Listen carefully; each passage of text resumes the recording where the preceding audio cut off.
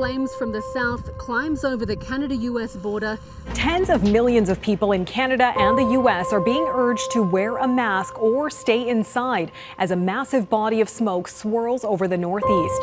With the fire just four kilometres away, residents of more than 700 homes were forced to evacuate. Parliament Hill barely visible in this drone shot of downtown Ottawa. This is what an international wildfire crisis looks like on the ground and in the air. Nova Scotia is grappling with historic flooding as torrential rains sweep across the province this weekend. Some areas have seen more than 200 millimeters of rainfall in just a few hours. Rivers and streams are overflowing, and flash flooding has made some major roadways impassable. Canada's historic and devastating wildfire season has been polluting air in Minnesota, Wisconsin, and across much of our country. Robberies, which is defined as theft with violence, increased 32% from 2021 to 2022. Auto theft has increased 47%. The murder rate has increased 114%. It doubled year over year from 2021 to 2022. And I know we've got a lot of first responders in the room, and thank you for being alive at this time, navigating a very complex environment and society that we live in. In every city you can think of, there are those that were born in that city, some were called to that city, and you have the last group that were pushed into the city because of whatever God was doing in that place and time. I believe right now we're in a place and time, and the moment has to be seized for Calvary's sake. In this time and season, there's a special work God is doing. I'm all in. We're so excited to be here, man. I was raised to believe in God, and prayer for me has been healing. It's been healing for me when work has been difficult. Don't stop praying for us. Don't stop praying for us. I was aware of what was going on in the city and in Canada. It was last year I ran for the mayor of my city. Hello, Hamilton. My name is Solomon Ikwiwu, and I'm running to be your next mayor. People thought I was crazy. He had lost his mind. I'm always moved when I hear God keep our land glorious and free in our national anthem. There are things God calls us to do. He never tells us the destination. He only reveals the journey, right? When I ran for mayor, I know one thing though. I wanted to be God's hand and feet. I wanted to see change in this land. As we move into a time of prayer and fellowship, let us remember the ultimate sacrifice of our Lord and Savior Jesus Christ on the cross on Calvary and reflect on his message of love, peace, joy, hope, and work in, in unity to build and bless our glorious nation of Canada. You know what? There's a lot of issues facing Canada. And uh, I'm in politics, and I believe that Canadians should be involved in, um, in making our country better. But at the same time, I don't think that politics is the answer. I believe the only way that we can get Canada back on track to make Canada glorious and free again is really to turn to God. And there are many things that we need to change in this country. There's a lack of trust in our public institutions. There's a lack of um, care and concern for our fellow Canadians. There's an increase in selfishness. There's an increase in crime. There's an increase in, in um, uh, inflation. And you know there there are there are practical things that we can do to solve these issues. But at the end of the day, um, there's no law that can make a selfish person compassionate. There's no law that can make a um, person that's only concerned for themselves to care for somebody else. And that's why we need God to revitalize the hearts and minds of Canadians in this country. And I believe that this, these movements that we're seeing where people are seeking the Lord, where they're looking for guidance from God, these are, these are the only things that are going to make the practical changes that we need in Canada. Of course, there's there's many um, things that we need to do uh, on a day-to-day level to bring this country back to where it needs to be, but without uh, without the fear of God, without the the memory of the historical uh, circumstances that brought Canada into being, we're never going to be able to have Canada reach its first potential, and that's why in the Charter of Rights and Freedoms, which is a document that is a constitutional document in Canada, the very preamble says that Canada is based on the supremacy of God and the rule of law. And these are two foundational principles that have made Canada what it is, and yet uh, a lot of those principles are deteriorating. And by focusing on bringing God back into Canada, that is exactly where we need to start.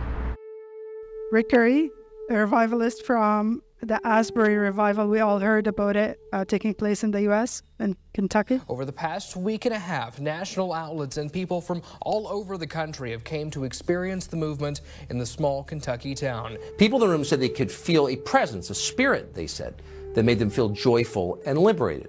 And so they stayed. The church service never ended. What began as a routine chapel service at Asbury University has turned into something much bigger. We didn't fully understand what was happening at Asbury, and we don't really understand it now. We're not sure anyone does understand it. I met Solomon uh, actually at Asbury University during that great outpouring in the month of February 2023. Actually, I was downstairs in the basement of Hughes Auditorium right there on the beautiful campus of Asbury in a little town called Wilmore, Kentucky. And I was in the basement of that building and uh, in a room that had been set up for prayer and intercession uh, all throughout the day and even the night. And uh, I was in that room, and then suddenly uh, Solomon walks in. They had just made the trek down from Canada to Kentucky to get in on this move of God. And so Solomon and I actually met for the first time right there in the basement of Hughes Auditorium uh, in the prayer and intercession room. When Solomon came in, he came in very excited uh, because they had driven down from Ontario and uh, their trip should have taken, I don't know, eight and a half or nine hours, but it ended up taking about 14 hours or so, as I recall, really because they were ministering the entire way down there. So the first thing that I began to hear Solomon talk about was winning the lost, making disciples, and seeing miracles happen. So I want to just take a couple of minutes really to explain to you why in the world I'm here. I knew nothing about Hamilton. Uh, I had never been to Hamilton. Uh, I had only been to Canada one time before. I knew very little about Canada itself. So it was in 2013 that one night on a very kind of normal night, uh, go to bed and I begin to have this remarkable dream. The amazing thing about dreams is anything can happen. And in this dream, it was interesting because I saw tribes and nations and generations and people and neighbors actually coming together and there's a remarkable hope that was filling their hearts, and an outpouring of love filled the land. And I knew in that dream that I was watching a most spectacular thing unfold, which was, in fact, the awakening of nations and the renewing of a human heart by an outpouring of the love of God. Whatever you do, work at it with all your heart as though you were working for the Lord and not for people. So we're praying that these prayers that have gone up are being are being noted in heaven and the prayers that are continuing to go up that are going to go up on July 1st the church needs to go beyond the four walls. That's who we are. You know we've we've come we've confined ourselves to worshiping once a week on a Sunday and asking people to come into the building but I believe that the Book of Acts church was a church that was out there was in the in the midst of, of government, was in the midst of society, business, in the marketplace. And so we really want to see Jesus in the city and we want to be Jesus in the city. We believe that a lot's going to be happening in the spiritual realm. We are the preservation, we're the salt of the earth. And I believe we're preserving um, the people of this earth right now. After the Asbury revival began to happen, one day I was praying over the nations my wife got me a little globe. It's battery operated, it's not fancy at all. But it's a little globe, and you turn it on, and it just spins round and round. I was in my office one day, and I was just praying for the nations of the earth. No nation particularly, just praying for the nations. And then suddenly, as I was praying, Lord, what are you doing in Asia and Europe, Africa? What are you saying about the nations? And suddenly I heard the Lord say to me, it came out of nowhere, was totally not suspecting it at all. But the Lord said to me, Oh, Canada, my beloved, Oh, Canada, my beloved. It felt empathetic, beautiful, deep. Oh, Canada. Abba, Father, every good and perfect gift comes from you. The city looks like, uh, you know, it looks like things are dead right now, and it looks like we're in a hopeless situation. Of course, we want to see change, and we look to our politicians, we look to our, our churches to see things turn up, uh, see things change. But I believe, I'm convinced, only God can heal this land. This is why we're positioning ourselves to humble ourselves, turn from our wicked ways, seek His face, that our land may be healed.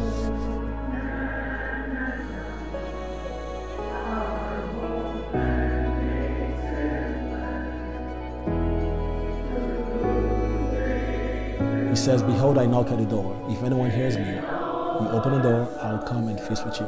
Revival is being receptive to the person of Jesus Christ. Revival is being awakened to the reality of who Jesus is. So many people are sleeping right now, but God is in the business of waking people up. I think there is hope for the church in the city, but I also understand the, the warfare it's facing. I also understand the challenges that the churches are facing in the city. But I would say that there's hope. I see the potential.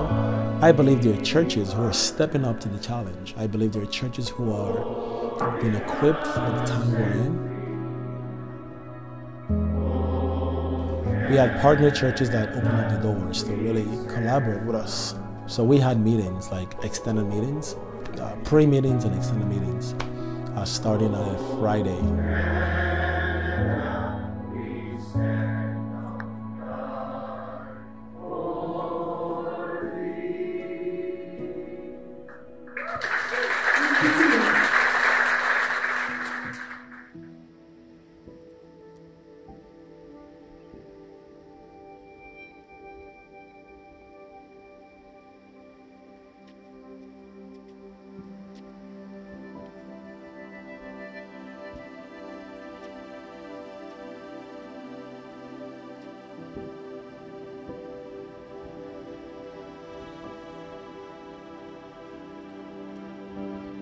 So, look, we're super excited to be here in Ontario and Hamilton. Super excited to be here. And uh, we have met over the last few weeks, we have met so many incredible leaders uh, all over Canada, from Vancouver to Edmonton to Saskatoon up in Saskatchewan, Nova Scotia, on and on. Leaders, quality leaders, integrous leaders, kingdom leaders that are all coming together for the cause of Christ in Canada. And we're so glad that there's uh, so many different churches represented here tonight, and uh, we're really grateful that you've come. I'm uh, really grateful for the support that we're feeling from our American brothers and sisters that are here.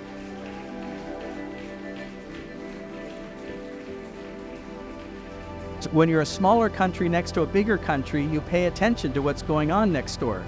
And, um, and, and so it's so wonderful to just feel that love and those prayers coming back, see you traveling up here, sacrificing to come and, and just pouring yourself out. And we're just, we're grateful, are we not grateful for all that they're doing? And it's been a remarkable thing to see. And when Solomon invited us to come here to Ontario and Hamilton to be a part of this God to heal our land amazing gathering. Um, it, when he invited us to come, we just knew that our heart was compelling us to come. And so we came into Hamilton. We're super excited. We love to partner with leaders like Solomon, whose heart is for the harvest, whose heart is for unity, whose heart is to see churches and pastors lifted up and encouraged. And I believe that tomorrow I believe that this event with God Heal Our Land is going to be a remarkable turning point in Canada. You know, it uh, started with the whole Asbury team, George and the rest of the team that had come up uh, a number of weeks back. There were people who did not really know who we were, people who had questions, people who said things like, Who are you? Who are these guys, right? My message to them, my encouragement to them is as you can see, we had no ulterior motive. No, I, I need you, brother. I had to do this. I know, I know, I know that you're, you know, you're man of God. I had to do this, okay? Not right over here with me. Yeah, yeah. When God asks a question, there's a need for a reaction. It's an invitation to be a part of what He's doing. This has been, like I said, it's God's story, and we get to be a part of what He's doing, an adventure with His Holy Spirit. Quiero darle gracias a Dios por este hombre. I want to give thanks to God for this man. Amén. Lo que él se atrevió a hacer, What he dared to do, nadie se había atrevido a hacer. nobody else had dared to do. I took some time to pray, to seek the Lord.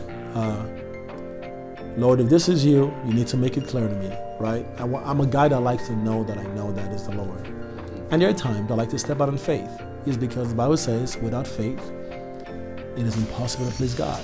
Yo me estaba bañando para venirme And while I was showering before coming here, cuando Dios me dio una palabra para este hombre. when the Lord gave me a word for this man, El Señor me dijo, the Lord said to me, muchos Many han querido hacer have wanted to do lo que yo te he llamado a hacer a ti. what I've called you to do, Pero yo he conocido tu corazón. but I've known your heart.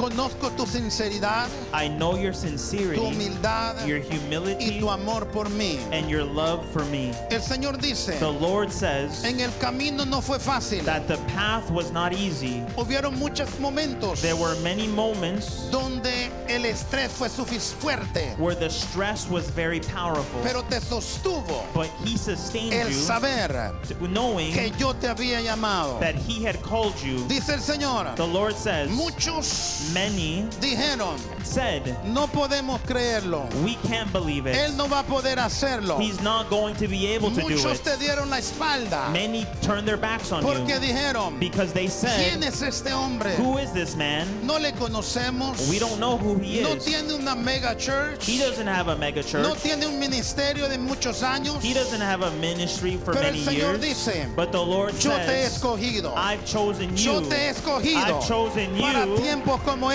estos. these times. Dice el Señor, The Lord says, no te desanimes Do not get por discouraged aquellos que te dijeron que no. by those that said no to you. Porque yo he levantado Because gente I've lifted up para people trabajar to contigo, work with you, para estar contigo to be with you en todo momento, at all para times, levantar tus to brazos. lift up your arms. Porque lo que yo te he llamado a hacer Because what I've called you no ha to do terminado. is not finished. Solo es el comienzo It's just todavía. the beginning. Verás mi gloria como You nunca will see my antes. glory like never Verás mi favor como nunca You will antes. see my favor like Te voy a before. conectar con gente. I will connect you with people, Gente que te va a levantar. people that will lift you Gente up, que te va a ayudar. people that will help Gente you, que va a financiar tus sueños. people that will finance your Dice el dreams. Señor. The Lord Porque yo says, conozco tu corazón. because I know He your visto heart, tu humildad. I have seen your y dice el humility. Señor, And the Lord yo te says, voy a colocar I'm going to con place you grandes, with great con ones, poderosos, with con powerful gente de ones, mucha with influencia. people of great Voy a poner influence. gracia I will place y grace favor sobre ti and favor en over you esta nación in this y el nation mundo entero and the entire va a world conocer will know tu nombre your name por lo que yo voy a hacer by what I will a do través de ti. through you. Gracias Espíritu Thank Santo. you, Holy Spirit. Gracias Jesús. Thank you, Jesus.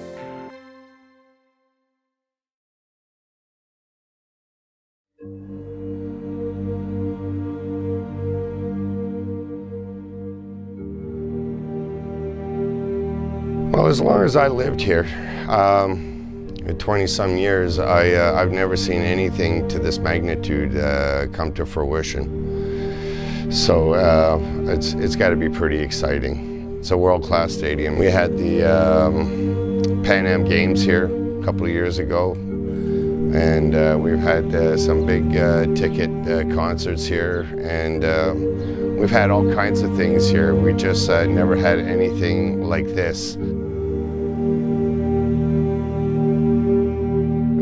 Also lived on the street when I was growing up as well. And even growing up here at the age of nine, uh, we never had anything like this then either.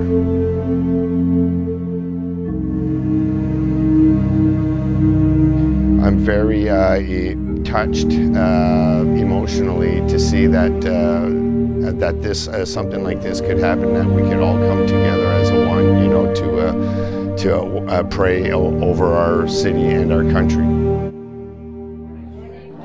A preparar este, este día So we're going to prepare this day. y la mejor forma de hacerlo es orando And the best way to do that is by praying. para que el Espíritu Santo cubra este lugar So that the Holy Spirit covers this y place cubra a cada una de las personas que estamos aquí esta mañana. and covers every person that's here today. Creemos que este día va a cambiar la historia de esta ciudad y esta nación. We believe that this is going to change the history of this city and this nation. Así que vamos a orar para que el Espíritu del Señor tome el control total. So we're going to pray so that the Holy Spirit takes complete control. Amén. Padre, en el nombre de Jesús, Father, in the name of Jesus, te damos gracias esta mañana. we give you thanks this morning. Honramos tu nombre y te bendecimos. We honor your name and we bless you. Padre, este lugar ahora se transforma Father, this place now transforms en, en- en el lugar, en el templo tuyo donde tú vas a, a moverte. into your temple where you will move.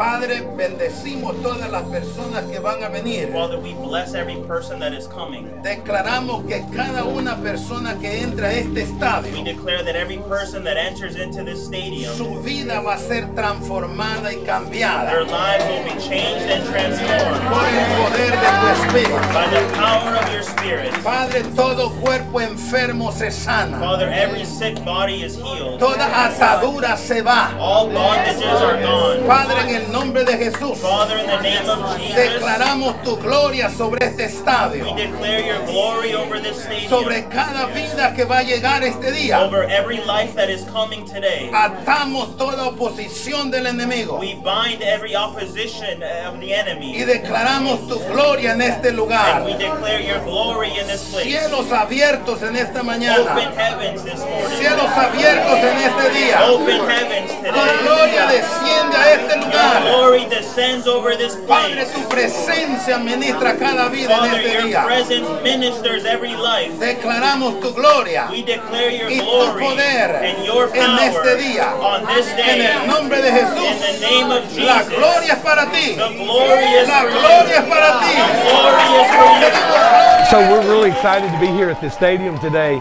You know, last night we had a really a great kind of pre-gathering rally at a local church.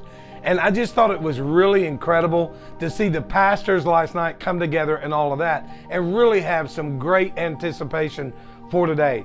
I think for me and maybe a lot of others, we woke up with a great deal of anticipation and excitement today. Everybody's been watching the weather My wife reminded me of the weather.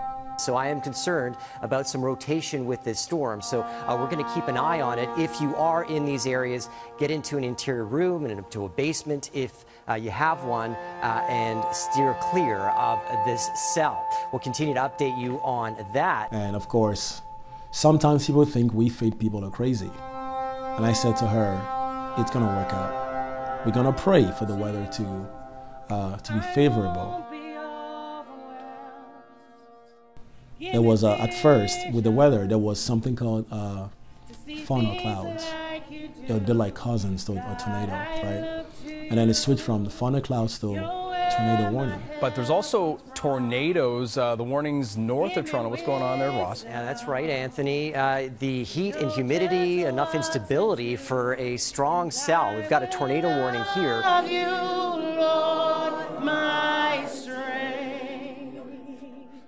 And I will love you, Lord, my shield. many of the city events for Canada was canceled because of potential tornado.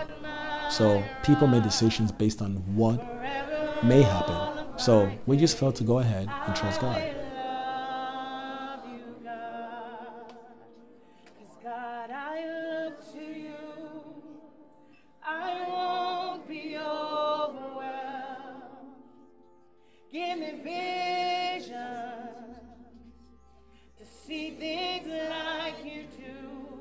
Uh, of course, I was monitoring the weather and the day before. But for some reason, I wasn't worried. I knew God would come through.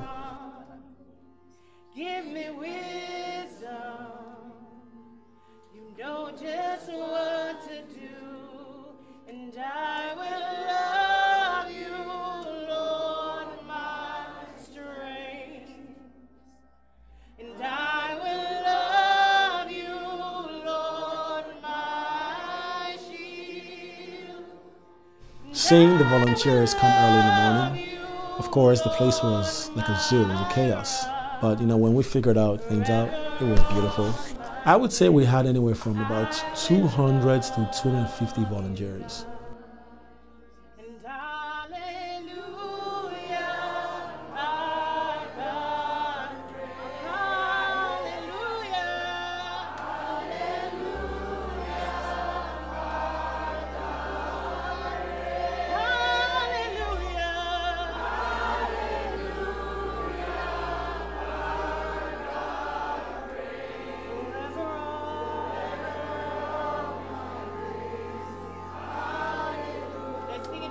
Hallelujah. Man, I'm so thankful for everyone that volunteered their time to just really make sure this event was a success. Everybody contributed something. Reign, hallelujah.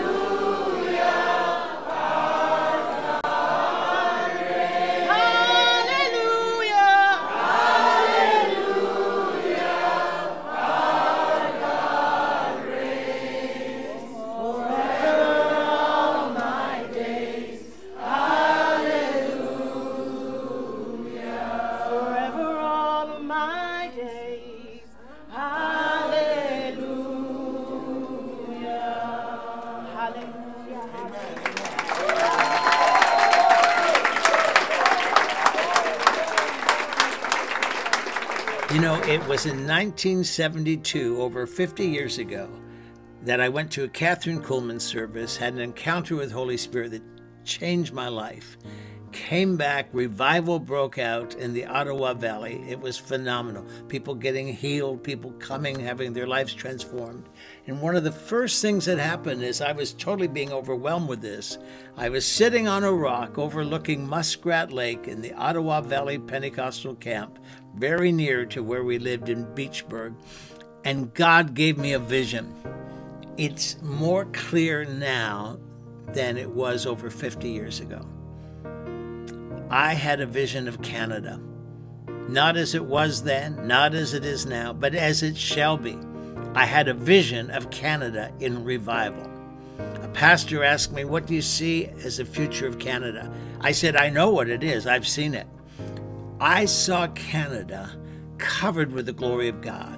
I saw entire communities across the Arctic being shaken and transformed by the power of God. I saw the fire of God burning across the ice. I saw stadiums filled with people worshiping God across our nation. Some of the stadiums had not even been built. There's a verse in the Bible that says, In the day of the Lord, many will volunteer. And we saw that happen. So many people volunteering from far and wow. That was just like, praise God for that. I just want to just officially welcome every one of you. A big thank you, thank you, thank you, thank you from the bottom of my heart. Thank you for being a part of this. This is a move of God. You know, oftentimes we pray for a move of God, forgetting that we are a move of God. Praise God. Now, I want you to look around you. This has never been done before. Never been done before. Yesterday, we're in a prayer meeting. God did something special yesterday, and something that came to my heart. I understand this is the Tim Hortons field, and we're so thankful that they allowed us to use this space today. Praise God. Thank you.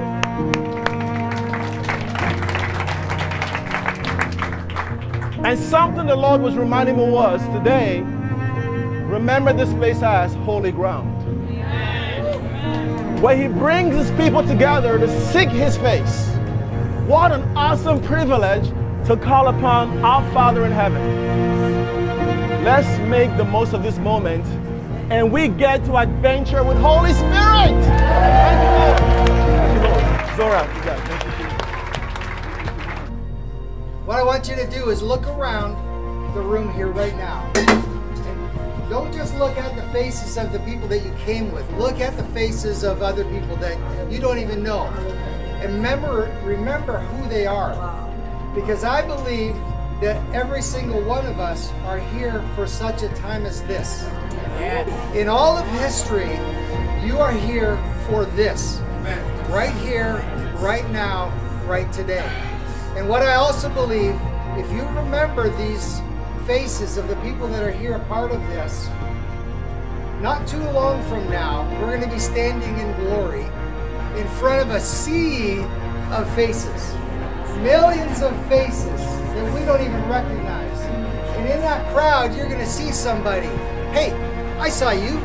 You were there that weekend, right? You were there on that weekend in Hamilton. I saw you in the midst of the millions of people that we're going to see we're going to see faces that we recognize. The Father alone has the authority to set those dates and times, and they are not for you to know. But you will receive the power when the Holy Spirit comes upon you, and you will be my witnesses, telling people about me everywhere in Jerusalem, throughout Judea, in Samaria, and to the ends of the earth. Everybody needs Jesus. Whether they look like businessmen, whether they look like they're homeless, you don't know. Invite them because the blood of Jesus is flowing and people are going to be healed. They're going to be healed of past pain and trauma. And all pain and trauma is going to be able to leave people today. And you get to be the hands and feet of Jesus to bring them in here. Your part is so important. It is critical. It is crucial. We couldn't do this without any every one of you. So be encouraged. Know that you are important. Know that your role here is very important. And go bring them in. Bring them in. It's going to be wonderful. Amen. Hallelujah. Have a wonderful. I believe that there's a lot of potential in Hamilton, but we need Jesus, and that's what we're here for, is to bring Jesus to this city. Football, they say, is the ultimate team game because you can't win it by yourself. The Christian life is also a team game. My name is Steve Kearns, and I'm the team chaplain for uh, the Hamilton Tiger Cats. Um, and I came into this role as, um, well, I was a player first, and then kind of just flipped to the other side uh, as, as the chaplain. And so uh, I've been doing this since 1986. So it's been a it's been a few years. Seen a lot of guys come and go. Seen a new uh, the old stadium go and a new one built. So it's kind of it's kind of exciting. Today is, is, is a special day, not only because it's Canada's birthday, but uh, there's an event here at uh, Tim Hortons Field that um, cheers for someone else other than players, football guys, or soccer guys, or maybe even concerts or entertainers. Uh, we're here to to cheer on Jesus, actually. So uh, the dream is now, you know, 10 years old, this being 2023. But in 2013, I go to bed and I had this dream. And in this dream, one minister from each generation would come to the edge of the platform and speak over the, the, the generations. And when I saw that, there was a friend of mine who came in and he was going to address the crowd. And I noticed that he had a flag in his hand and he was waving this flag in a figure eight when he was praying and decreeing over the generations. And it was absolutely phenomenal. And so I saw my friend waving the flag. I saw the flag, and it was a white flag with a green evergreen tree in the middle of it. And across the top were words that were written, but in the dream I couldn't read them. And uh, but I knew that there were words on top of that tree. Later on, I would begin to discover that in fact the words were an appeal to heaven. But when I saw the flag, I didn't believe the flag was real at all. Now, the next morning, when I was sharing with my wife about this dream, many more details besides, when I was sharing that dream with her, came to the flag and she asked me, Is the flag real? And I said, Well, no, the flag can't be real. I've never seen a flag like that in my life. And by the way, in the last 10 years that we've told this story almost everywhere, it seems, I've never met one person who told me they learned about the flag in school. And uh, I told my wife, I said, I don't believe the flag is real. She told me we should Google it. And guess what we discovered? this was the oldest flag in American history. And what we began to discover was the flag was created in 1775 by General George Washington, who was funding the Continental Navy out of his own pocket as they were going up against the great British Navy, the greatest naval uh, force of human history at the time. And so he was funding this Navy out of his own pocket, but they had no flag. This was years before the Stars and Stripes. And so they had no flag. And so a servant of his or an officer of his created this flag. The white stood for the purity of the cause of liberty. The evergreen tree really was a gift to the founding fathers from the first Aboriginal or First Nations people all along that northern border and even into Canada. It was amazing to me when I began to learn that that flag was given as a gift to the, or that tree, the revelation of the tree was given as a gift from the First Nations people. And then the words over top, sure enough, they were on it, and they come from the writings of a man by the name of John Locke in 1690. So it really was a remarkable dream. And in the dream, it just began to infuse our hearts and our minds with the hope that God is not done with the nations of the earth. And I could take two hours right now and tell you about moves of God that are literally happening all over the world. And one night late, I was praying for the nations. I wasn't praying for my own nation, I wasn't praying for Canada or any other nation specifically. I wasn't praying for Canada or Asia or Africa or Europe.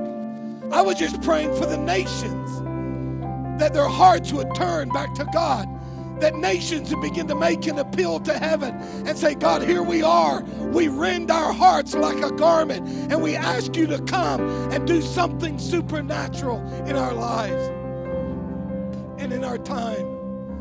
And I was praying over the nations. And then all of a sudden, I'm telling you, I didn't see it coming. I didn't plan on it. I didn't I couldn't imagine it. But suddenly when I was praying over the nations, I heard the Lord say, Oh, Canada, my beloved. Look, a few weeks ago, I was on a Zoom call with leaders from all over, all over Canada. And one of them asked me if I'd ever heard of the 1776 Puritan prophecy out of the United States over Canada. And I said I had never heard of such a thing. Now they begin to share with me how an old Puritan pr- preacher, a pastor in 1776, said that our two nations would never become one.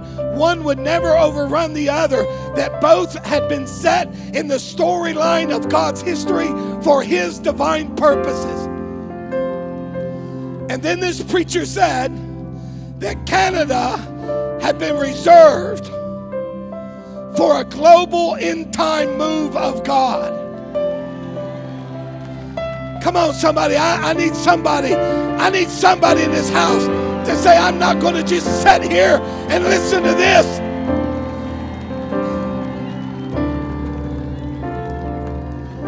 So watch. But after the Asbury revival, you may say, Why am I here? Let me be the first American to wish you happy Canada Day. We did communion, right? Led by Pastor Renee. That was just incredible. Ladies and gentlemen, welcome Pastor Renee McIntyre. Hallelujah. Praise the Lord. Hallelujah. Let's lift our voices.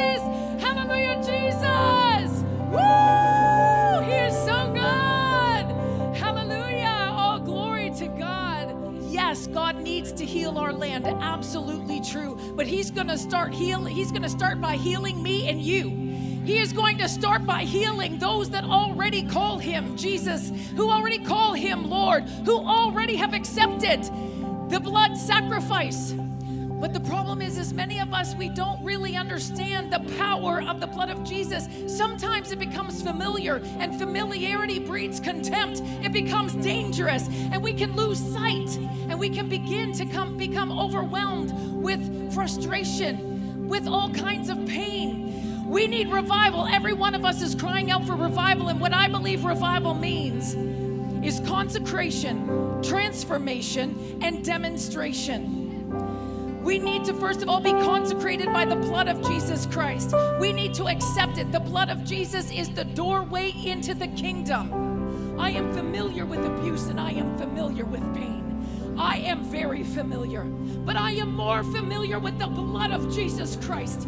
And I have disassociated myself from the power of pain, from the power of heart, from the power of sin, from the power of death, from the power of the grave. And I said yes to Jesus and I got up out of my grave. I left my sin behind, I left the guilt behind, I left the hurt behind and I walk around and I stand before you healed, whole, set free, demonstrating the power of the kingdom of God. We are about to eat the body and drink the blood of Jesus Christ, the very one who made it possible for you to forgive, who made it possible for you to be found guilty, who made it possible for you to walk free of pain, of shame, of guilt. It was it was pure, it was humble, and I think I speak for the entire team that we like the path God took us through.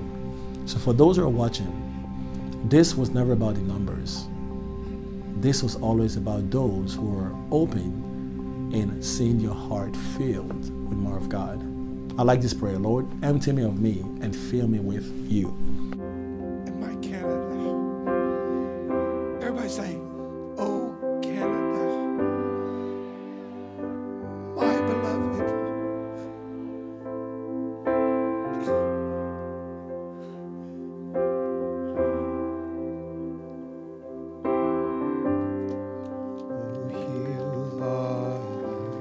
Today we are just overflowing with donations today, so we got so so much stuff. So feel free to be extra generous if somebody wants extra things. You know, you can hand it out. So The yellow bags in each cart, those are the perishables, like Starbucks bananas. So those need to be gone by the end of the night.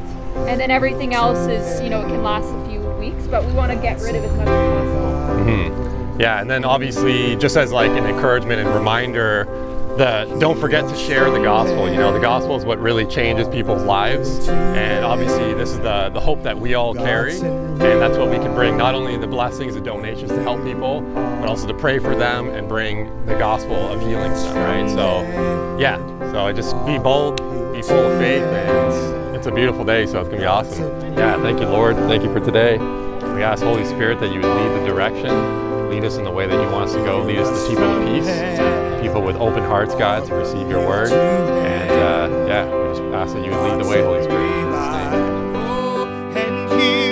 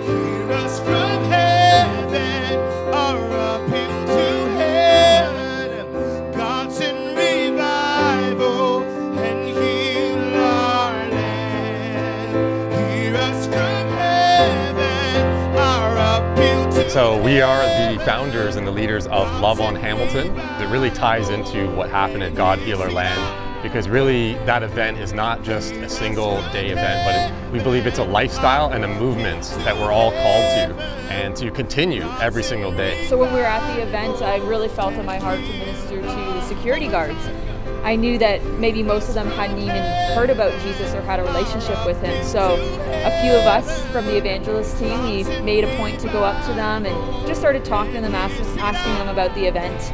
Um, sure enough, some of them had back pain and neck pain, and so we ended up praying for them in Jesus' name. And when we prayed, they got fully healed. Instantly, all the pain left them. And to me, that was just such an amazing testimony of how much God loves them. So sharing the gospel with them, them getting healed, uh, a couple of them received Bibles, New Testaments, and to me, that was just really a highlight for the event was seeing people get touched by Jesus in the midst of all of us worshiping and just celebrating what God's doing in Hamilton. Seeing the volunteers and people who have never shared their faith before uh, do it for the first time and see that actually it's not so hard. And uh, really, it's a calling for all of us who follow Christ to go and share our faith. And yeah, so that's probably my favorite part.